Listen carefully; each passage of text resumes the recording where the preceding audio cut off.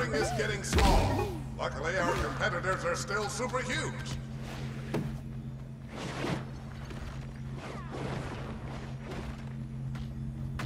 We've seen an incredible match so far today, but there's a certain intensity that comes with the final ring. I have a feeling we're in for a thrilling conclusion to today's Rumble.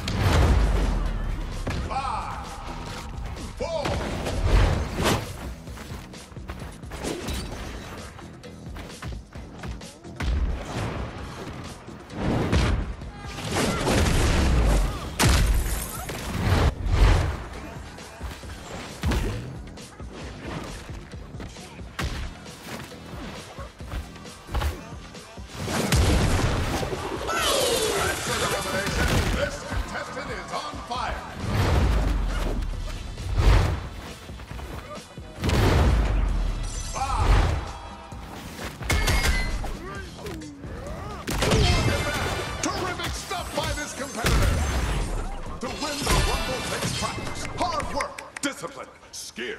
This contestant truly